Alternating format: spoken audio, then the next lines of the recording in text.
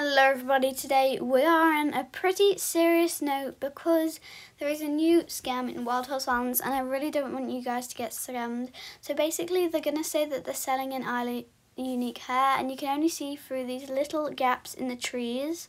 So it's going to look like um, it's mossy or like sapphire they're going to dye the Mintail green and then you're just going to see through those trees and just assume that it's an Island Unique hair, but they also say that they're in a rush, so you buy it really quickly without thinking about it.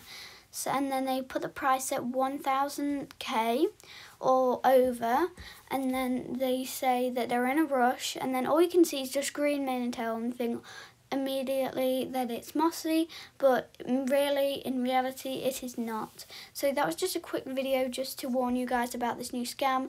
I really hope that you guys haven't already been scammed by this. Thank you guys so much for watching this video. Please make sure to leave a like and subscribe to help the channel grow, and I'll see you all in the next video.